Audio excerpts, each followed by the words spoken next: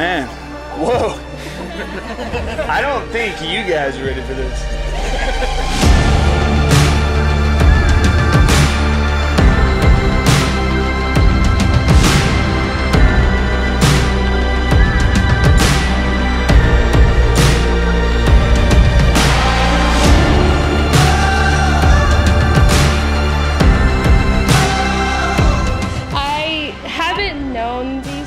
Very long. It's only been about three years, but it feels like a lifetime. I'm gonna cry.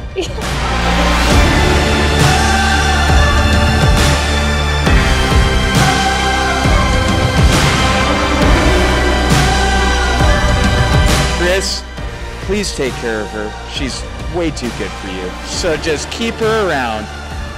She's beautiful. She takes care of you. You guys have a beautiful kid together.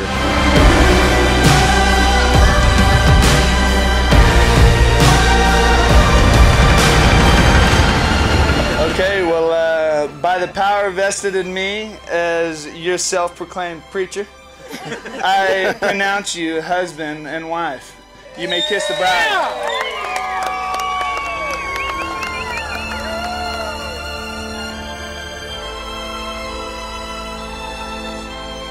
Take one day at a time. If you get stressful, go out and have fun.